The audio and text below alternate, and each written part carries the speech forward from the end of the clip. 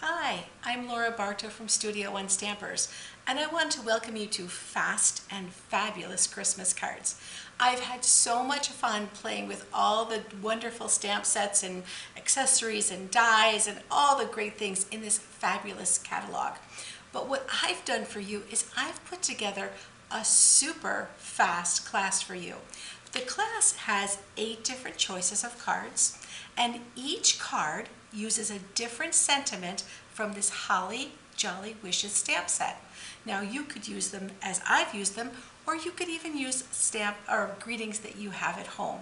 The only thing you need to complete this class, of course, your adhesives, um, but your words and um, three different colors of ink and a blending brush if you want to do that cool technique in this particular card. So I've used papers from the new catalog.